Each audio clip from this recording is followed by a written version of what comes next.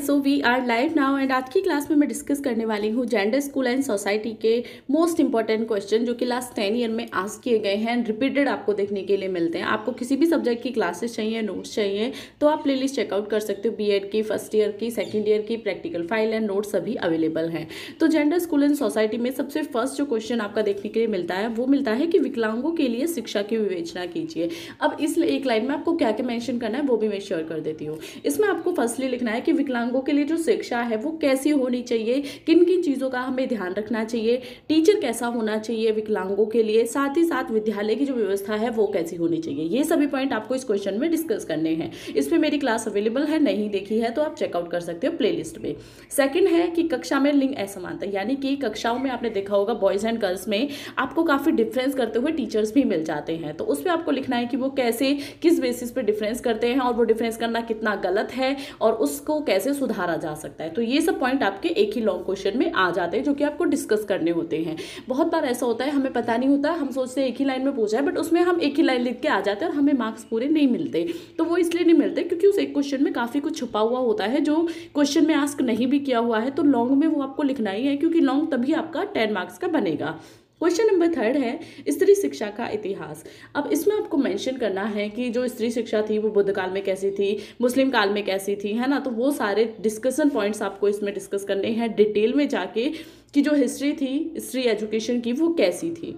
Question number fourth प्रजनन संबंधी अधिकारों का वर्णन कीजिए। यानी कि प्रजनन संबंधी कुछ अधिकार आपको देखने के लिए मिलते हैं कानून के रूप में तो वो आपको नेक्स्ट क्वेश्चन में मिल जाएँगे क्लासेस में भी मिल जाएँगे तो वो आपको सभी मेंशन करने हैं। क्वेश्चन नंबर फिफ्थ, सशक्तिकरण की व्याख्या। इसमें मैंने क्लास शेयर कर रखी है, सशक्तिकरण क्या होता है? चेकआउट करिए। काफ़ी अच्छी क्लास है। एक ही बार में आपका टॉपिक जो है वो कंप्लीट हो जाएगा।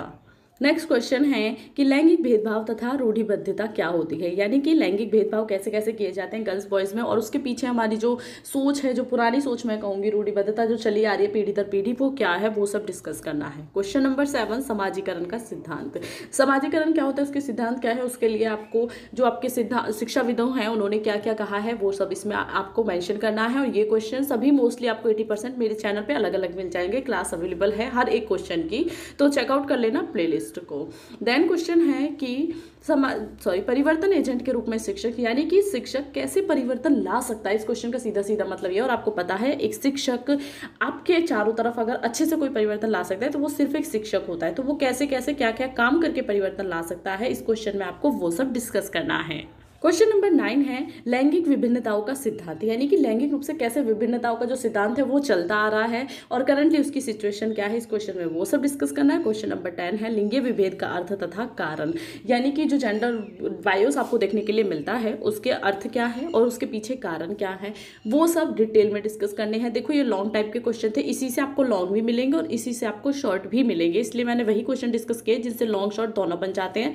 हर एक क्वेश्चन को लॉन्ग में कर लो, अलग से शॉर्ट करने की ज़रूरत नहीं है शॉर्ट और वेरी शॉर्ट इसी में से निकल जाते हैं और इसी में से बनते भी हैं।